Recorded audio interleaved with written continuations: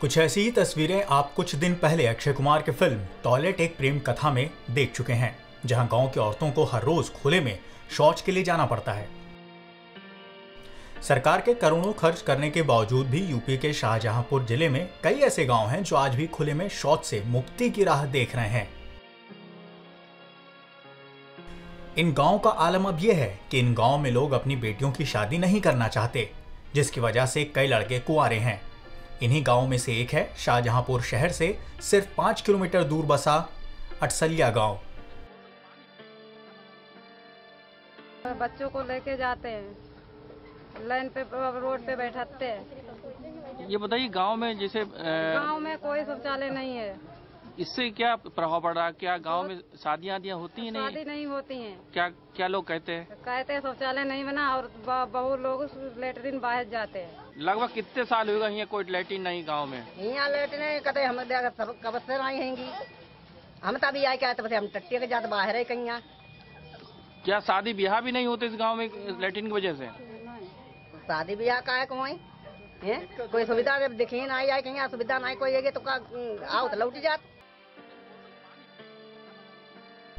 Train की पटरियों के समीप बने इन गाँव में कई लोग हादसे का शिकार भी बन चुके हैं। रात के अंधेरे में पटरियों के पास शौच के लिए जाने वाले कई लोग ट्रेन की चपेट में आकर अपाहिज भी हो चुके हैं।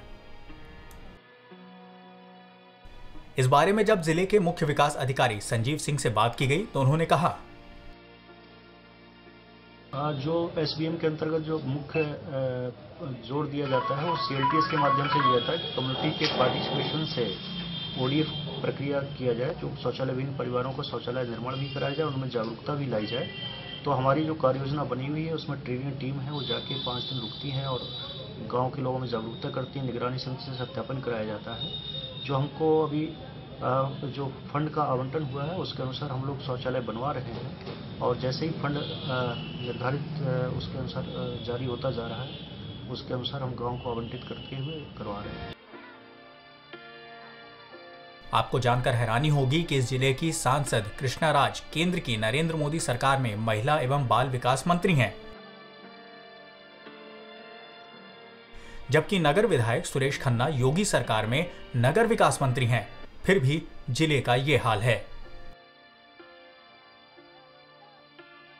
Video desk, Amar Ujala TV, Shahjahanpur.